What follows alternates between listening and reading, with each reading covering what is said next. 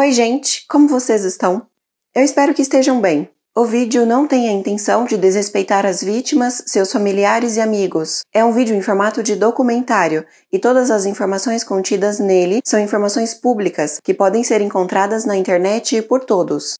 O caso de hoje é sobre uma menina que foi tirada de dentro de sua casa por um desconhecido. Sua mãe e irmão lutaram com todas as forças contra esse homem para impedir que ele a levasse, mas ele foi mais forte que os dois. Mesmo muito feridos, eles saíram pelas ruas gritando por ajuda, mas infelizmente só puderam observar o carro partindo. A menina, que tinha apenas 9 anos de idade, entendeu que ninguém a encontraria e que precisaria usar tudo o que aprendeu assistindo a programas de casos criminais para conseguir escapar das mãos daquele homem e fazer justiça. Entendam como tudo aconteceu e o desfecho deste caso no vídeo de hoje. Antes de iniciar o caso de hoje, eu gostaria de fazer um pedido a vocês. A Thaís do canal Thaís Rory está se esforçando muito para chegar aos 100 mil inscritos até o dia 30 do mês que vem, maio, e falta pouco para ela alcançar essa marca. A Thaís também conta casos criminais em seu canal e os roteiros dela são preparados com muito cuidado e respeito, e ela se esforça para sempre postar casos inéditos. E eu ficarei muito feliz se vocês puderem ir ao canal dela e se inscrever. E se possível, deixem um comentário para sabermos que vocês foram lá.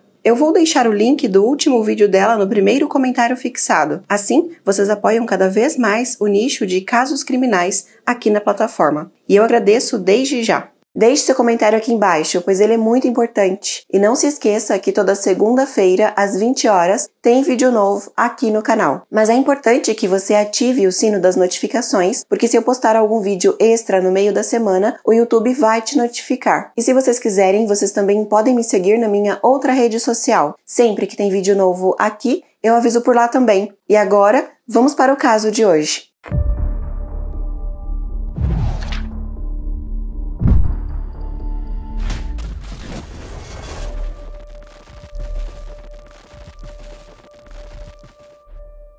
Janet Tamayo, uma garota americana de 9 anos, vivia em San José, na Califórnia. Esse caso aconteceu em 6 de junho de 2003, portanto, há 20 anos atrás. Num dia normal do período escolar, Janet estava voltando para casa depois da aula quando notou que a porta da frente da residência estava entreaberta. É claro que ela não achou que houvesse algum problema. Ela pensou que talvez sua mãe tivesse se esquecido de fechar a porta quando saiu e entrou sem pensar que algo ruim pudesse estar acontecendo lá dentro. Ela então entrou e foi direto para o seu quarto. E lá sim havia algo estranho. Havia cacos de vidro no chão. Mas ela não teve muito tempo para verificar o que havia acontecido, pois logo em seguida um homem desconhecido bateu a porta e ela foi atender. Ele então empurrou a porta e entrou. Janet ficou sem entender quando o homem começou a falar algumas coisas estranhas e desconcertantes para ela. Ela afirmaria mais tarde que sentiu uma vibração muito negativa naquele momento, sentiu que algo muito ruim estava para acontecer. Já com medo daquele estranho, ela tentou forçar a porta para impedir que ele entrasse totalmente, mas ele era mais forte e entrou com violência, quase derrubando a garota no chão. Ele então a forçou a levantar-se e a empurrou para o quarto do irmão. Eles lutaram por um tempo e ele acabou abusando dela. Quando terminou, ele a forçou a entrar no carro que estava estacionado na garagem. Durante esse curto espaço de tempo, a mãe e o irmão da garota, que tinha 15 anos, chegaram de carro em casa e perceberam um movimento fora do comum na garagem. Havia um carro estacionado lá e eles ouviram os gritos de Janet que vinham de dentro desse veículo. Essa imagem mostra quando a mãe e o irmão da Janet chegam em casa e estacionam o carro na garagem. A mãe de Janet, a Rosália, e o seu irmão Paul, de 15 anos, foram correndo até a garagem e viram um homem estranho saindo do veículo que partiu para cima deles. O Paul tentou agredir o homem com uma chave de fenda e foi logo desarmado. O homem agrediu o adolescente no rosto várias e várias vezes, e em seguida fez o mesmo com a mãe de Janet. Enquanto a menina escutava tudo de dentro do carro, impossibilitada de agir, pois estava amarrada no interior do veículo. Tanto a mãe quanto o irmão da Janet ficaram gravemente feridos e não conseguiram impedir o homem de sair com a menina. Ao voltar para o carro, a Janet estava aos prantos, querendo saber o que aconteceu com a mãe e o irmão, imaginando que eles estivessem sem vida. Além do mais, o sequestrador, quando voltou e entrou no veículo, estava com o rosto todo manchado de vermelho. Durante alguns minutos, ela se desesperou, mas logo percebeu que os dois estavam vivos, pois estavam correndo atrás do carro na tentativa de resgatá-la. Algumas câmeras de vigilância capturaram imagens e áudios daquele dia. Em uma delas dá para ouvir o irmão de Janet gritando enquanto corria atrás do carro. Ele pedia que chamassem a polícia. Isso lhe deu um grande conforto, embora não tivesse a mínima ideia do que estava para acontecer com ela. Pensou que talvez não chegasse a ver a sua família de novo. Logo a polícia foi acionada e passou a entrevistar os vizinhos. Foi assim que eles descobriram, através da câmera de vigilância de um vizinho, que o sequestrador ficou vigiando a residência de Janet por quase duas horas, o que configurava um crime premeditado. Ou seja, de alguma forma ele conhecia a garota e esperou que a mãe e o irmão saíssem para quebrar o vidro da janela do quarto da menina. Então, esperou que ela voltasse da escola, fez tudo aquilo com ela e a sequestrou. Enquanto isso, de dentro do carro, Janet gritava e gesticulava para fora na tentativa de chamar a atenção de alguém. Ela tentou de tudo para que fosse vista e acolhida por algum outro automóvel que passasse por eles, mas de nada adiantou. Ninguém notou nada, ou no mínimo pensaram que não se tratava de nada demais, e assim o criminoso pôde seguir o seu caminho até o seu destino final sem ser incomodado não sem antes agredir a menina com um pedaço de ferro em sua cabeça para que ela parasse de gritar. A pedido de alguns inscritos, eu vou colocar algumas partes de entrevistas que a Janet deu e, além de legendar, eu vou dublar o que ela diz para o melhor entendimento de quem, por algum motivo, só ouve o áudio do vídeo e não consegue ver as imagens. Depois de ser atingida pelo sequestrador duas vezes, ela ficou muito assustada e recuou. Vejam o que ela disse sobre esse momento. Eu só me lembro de escorregar, deitar lá e olhar para o teto do carro e pensar comigo mesmo: não vou conseguir, eu vou morrer. Logo, o lugar ficou cheio de policiais, o que também chamou a atenção dos vizinhos, e todos estavam preocupados em tentar agir rápido para conseguir o máximo de informações e encontrar a Janet. Mesmo machucado, o irmão dela tentava passar o máximo de informações. Várias viaturas policiais saíram à procura dela, mesmo sem saber a direção exata de onde o sequestrador a levou. Eles estavam correndo contra o tempo, em vão.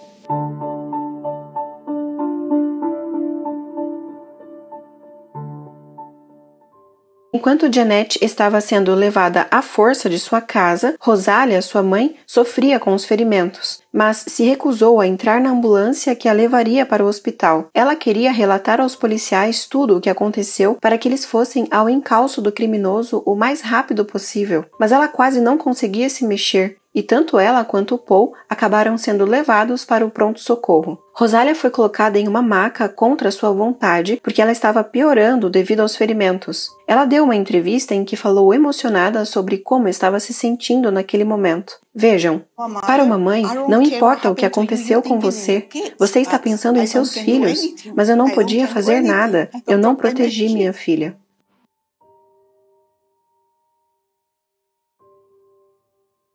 E assim, basicamente sem ter com o que trabalhar, sem testemunhas que pudessem levar a polícia até o criminoso, os investigadores tinham pouco material para iniciar uma busca imediata. Uma das investigadoras do caso disse que assim que chegou na cena do crime, o que ela pôde notar é que se tratava de um crime muito violento, pois havia muito sangue por todo o local. E por isso ela começou a se questionar se eles seriam capazes de trazer a Janet de 9 anos para casa novamente pois agora ela estava sozinha nas mãos daquele homem desconhecido. Os policiais contaram com a ajuda de cães farejadores que vasculharam toda a área ao redor, mas sem sucesso. Eles notaram que na casa de um dos vizinhos tinha uma câmera de vigilância que apontava para a rua, e então decidiram verificar as imagens capturadas por ela. Ao analisarem aquelas imagens, eles conseguiram estabelecer a linha do tempo daqueles acontecimentos. Concluíram que 30 minutos antes da Janet chegar, o agressor quebrou a janela do seu quarto, mas não entrou imediatamente na casa. Depois de deixar a janela quebrada, ele voltou para o seu carro e ficou ali até que ela voltasse para casa, mostrando que tudo foi premeditado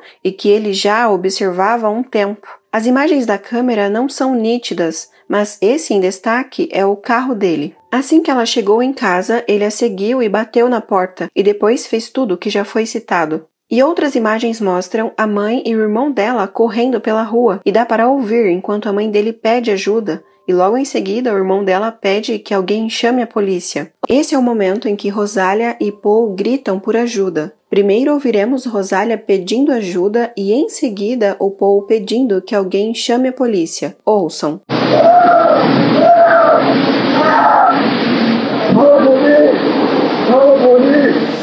Policiais até conseguiram uma imagem do carro do culpado de tudo aquilo, mas a imagem estava muito ruim, não dava para ver a placa do veículo. O sequestrador levou Janet para sua própria residência e a arrastou até o segundo andar, onde ficava um quarto. Lá, ele a algemou e a ameaçou com uma faca. Em seguida, abusou dela. O tempo todo em que foi mantida nesse cativeiro, Janet ficou algemada na cama e vigiada constantemente pelo seu sequestrador. As únicas ocasiões em que ela conseguia ficar sozinha era quando ele permitia que ela tomasse banho, e era nesses momentos em que ela pensava em uma maneira de escapar daquele lugar. Apesar de muito nova, ela era uma garota muito inteligente e logo percebeu que não poderia esperar a ajuda de alguém e que precisaria agir sozinha, porque muito provavelmente ele tiraria a vida dela assim que enjoasse de tudo aquilo. Porém, em uma entrevista, ela disse que às vezes se sentia desanimada e achava que estava perdendo suas forças para o medo. Segundo ela, o sequestrador ficava assistindo ao noticiário, até que um dia de manhã ele ligou a TV e estava passando o caso dela nos jornais. E ela viu que um primo dela estava dando entrevistas. Esse primo dela falava como se estivesse falando com ela e dizia que se ela pudesse ouvi-lo, ela precisava ser forte,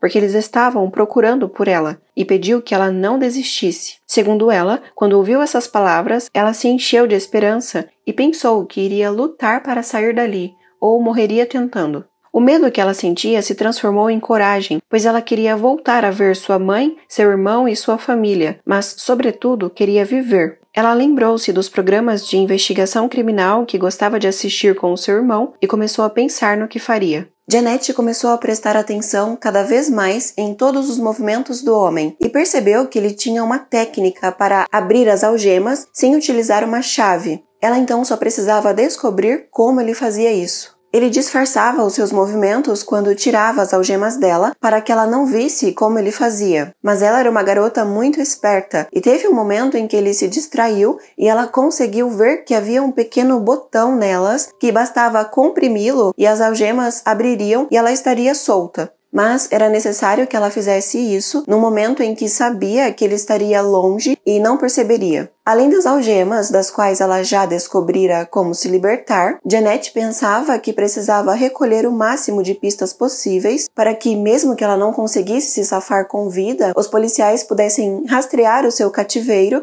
e capturar o seu sequestrador. Na tentativa de conseguir pistas e também de ganhar a confiança dele, a menina passou a tratá-lo melhor, ter conversas mais longas com ele e se mostrar mais calma, sempre fazendo isso aos poucos, para que ele não percebesse suas reais intenções. Houve um momento durante uma dessas conversas a dois que Janet conseguiu pedir ao sequestrador que lhe trouxesse um pouco de água e ele foi até a cozinha, deixando-a sozinha por uns momentos. O suficiente, talvez, para ela pensar em como poderia sair dali. Ela pensou que teria que afastá-lo por mais tempo. Mas como? Durante os instantes em que ficou sozinha, ela tirou as algemas e pegou uns objetos que estavam no quarto e os guardou no bolso. Um relógio que pertencia a ele, alguns brinquedos que ele tinha dado para ela e que certamente tinham as suas impressões digitais e sua roupa íntima. Era uma forma de dar pistas para a polícia poder localizar o sequestrador caso ela perdesse a vida e encontrassem junto ao seu corpo os objetos que ela pegou na casa. Segundo ela, nos programas de crimes reais que ela assistia, os investigadores procuravam as pequenas pistas para chegar no culpado. Então, se caso ela não aguentasse, ela deixaria essas pistas para eles. Ela ficou torcendo para que, quando o homem voltasse ao quarto com o copo de água, não tocasse nela e percebesse que ela mantinha os objetos no bolso. Era um risco previsível, mas ela calculou que valia a pena. Nesse curto espaço de tempo, ela só conseguiu recolocar as algemas e voltar à posição em que estava quando ele saiu, e já começou a ouvir os passos dele voltando para o quarto. Ouçam o que ela disse em uma entrevista sobre esse momento.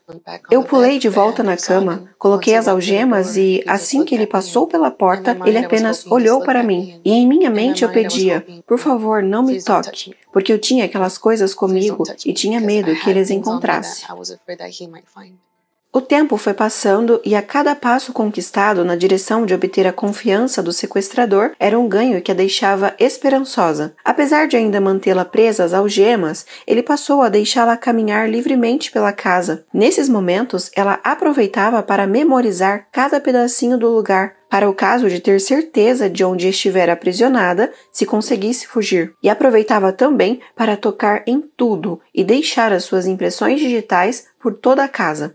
Enquanto isso, a mãe e familiares dela continuavam na busca incansável por ela. Porém, os policiais disseram para a mãe dela que depois de 48 horas era muito difícil que ela fosse encontrada com vida. A mãe dela, desesperada, perguntou a eles qual a previsão que eles poderiam dar de quando eles a encontrariam, e eles disseram que talvez nunca. Isso deixou a Rosália arrasada e ela gritava de desespero. Enquanto contava isso em uma entrevista, relembrando tudo o que passaram, Rosália se emociona. Certo dia, o criminoso perguntou se ela estava com fome e ela disse que sim, e ele permitiu que ela ligasse em uma pizzaria. Ele deu o celular para ela e o atendente perguntou a ela o número do celular e o sequestrador passou para ela. Depois o atendente perguntou o endereço e ela passou para ele também. Janet tinha uma ótima memória e foi memorizando tudo. Quando a pizza chegou, o entregador deu ao sequestrador um panfleto que continha a foto de Janet e disse que ela estava desaparecida e que todos estavam procurando por ela. Por ter se deparado com um panfleto onde constavam os dados da garota desaparecida, mostrando a foto de Janet, o sequestrador disse a ela que estava cansado dos problemas que ela estava causando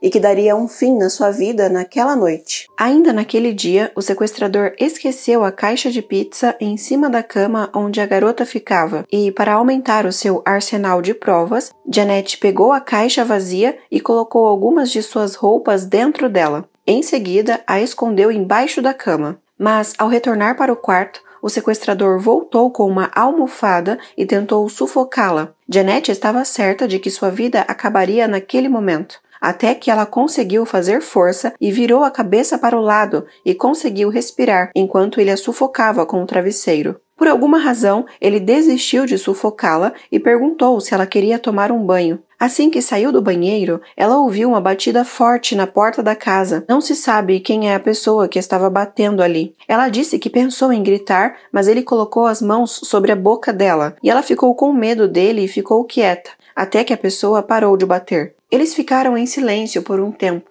até que ele decidiu tirá-la da casa. Ele a colocou de volta no carro e ela passou a chorar desesperadamente, até que em certo ponto, enquanto ele dirigia, ela foi se acalmando e disse que tinha certeza que fez o que pôde, que lutou até o fim, e segundo ela, foi se preparando para perder a vida. Enquanto ele dirigia, ela prestava atenção no caminho e em cada curva que ele fazia. Ele dirigiu por aproximadamente 30 minutos. Não se sabe, mas talvez a reação dela tenha despertado algo dentro da mente do sequestrador, pois, de uma forma inesperada, ele parou o carro na frente de uma loja de bebidas. Em seguida, mandou que ela descesse e não ligasse para a polícia. Vejam o que ela disse sobre esse momento. Assim que ele parou o carro, ele me agarrou pelo cabelo e eu olhei em volta e pensei: onde estamos? E ele disse: estou deixando você ir. E quando ele me agarrou pela nuca, pelos cabelos, ele me puxou para ele e disse: se você contar a alguém o que eu fiz, ou quem eu sou, ou qualquer coisa sobre mim, eu voltarei e matarei sua família e você também. Ainda muito apavorada e incrédula diante de sua própria sorte, ela correu para dentro da loja e pediu ajuda ao homem que estava atrás do balcão. Ele imediatamente reconheceu o rosto dela por ter visto uma reportagem na televisão e pelas fotos espalhadas pelas ruas. O dono da loja acionou a polícia, pois percebeu o estado de agonia em que a garota se encontrava. Essas são imagens reais da loja em que a Janet foi deixada. Este é o balcão em que ela parou para pedir ajuda. E este é o homem que prontamente a ajudou. Os policiais logo chegaram ao local e a investigadora do caso, chamada Heather, disse que assim que se aproximou dela e começou a se apresentar, Janet logo tirou tudo o que tinha de seus bolsos e entregou a ela. Disse que ali tinha evidências para encontrar o culpado.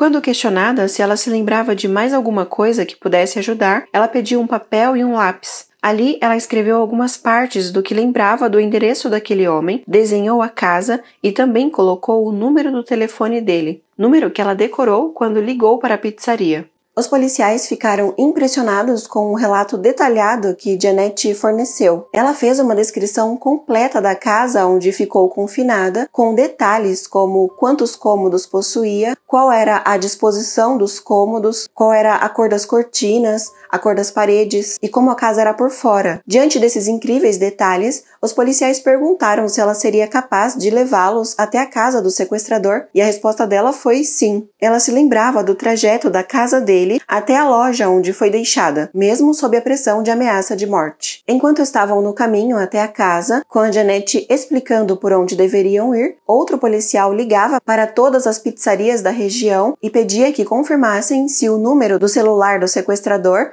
estava entre os clientes que pediram uma pizza. Janet disse que nesse momento estava se sentindo muito corajosa no carro da polícia e às vezes ela gritava de alegria. Quando estavam bem próximos da casa dele, uma pizzaria confirmou que aquele número ligou para eles e deram o endereço do cliente. A investigadora do caso ordenou que uma equipe de policiais treinados invadissem a casa. Eles usaram o layout da casa descrito por Janet e conseguiram determinar que aquele homem estava escondido no sótão, e estava mesmo. Ele tentou fugir, lutou, mas os policiais soltaram os cachorros treinados em cima dele e ele foi apanhado e mordido pelos cães e finalmente preso. David Montiel Cruz é o nome do sequestrador que foi preso e respondeu por uma série de acusações pelo sequestro de Janet, a incrível garotinha de 9 anos que conseguiu sobreviver e capturar ela mesma quem a sequestrou. Ele a ameaçou e violentou diversas vezes por três dias. Foram nove acusações criminais. David já havia sido preso anteriormente por furto e pequenos delitos. Os policiais também encontraram a caixa de pizza embaixo da cama com várias evidências guardadas por Janet. Depois de três dias nas mãos dele, ela finalmente estava a salvo. A mãe e o irmão dela a reencontraram no hospital. Os policiais a levaram para lá, pois ela precisava cuidar dos seus ferimentos. Ela viu o rosto de sua mãe que ainda estava com as marcas feitas pelo David. A mãe da menina, com o rosto ainda inchado e machucado, machucado, agradeceu às autoridades, à imprensa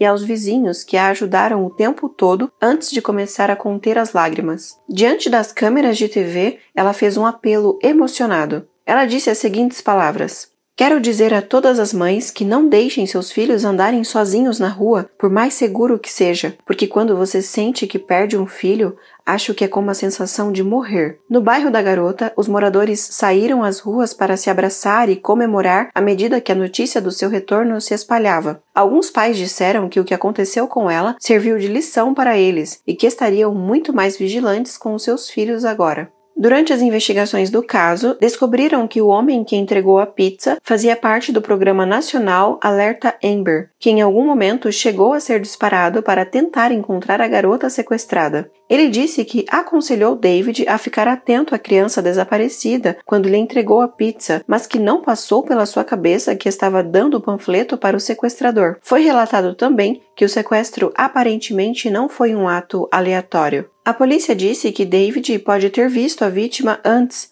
quando ela brincava com as filhas gêmeas de 11 anos de sua namorada, talvez até na casa onde ela havia sido mantida. A garota acabou sendo amplamente elogiada pela polícia e promotores por coletar evidências calmamente contra o seu sequestrador e ficou constatado que, durante o seu sequestro, David a ameaçou com uma chave de fenda, uma frigideira, um travesseiro e uma faca. Janet não compareceu ao julgamento de David. Em carta enviada à promotoria do caso, Ela, já com 11 anos, pois o julgamento dele ocorreu dois anos após o sequestro, apelou para que o seu sequestrador fosse trancado por toda a vida. O juiz, atendendo ao seu pedido, o sentenciou a 102 anos de prisão, o que é o mesmo que prisão perpétua.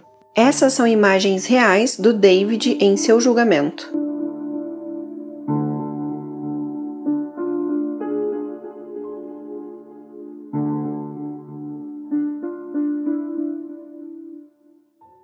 David ouviu sua sentença impassível e esse comportamento foi assim em todo o processo judicial. Seu advogado de defesa, chamado Carl, tentou sem sucesso argumentar que seu cliente não era culpado por motivo de insanidade. O advogado sustentou que David, que fez testes em um nível de retardo mental, era incapaz de distinguir o certo do errado por possuir um QI abaixo do normal. E, além disso, se valeu dos depoimentos de psiquiatras de que ele sofria de transtorno de estresse pós-traumático por ter sido abusado física e emocionalmente durante a infância. O promotor do caso, logo após o veredito, deu uma entrevista onde declarou que Janet estava bem, mas sua vida havia mudado para sempre. Ele disse ainda que a garota não conseguia dormir sozinha em seu quarto e que sempre precisava estar na companhia de um adulto. Ela ficava com medo quando a campainha tocava ou quando alguém batia na porta.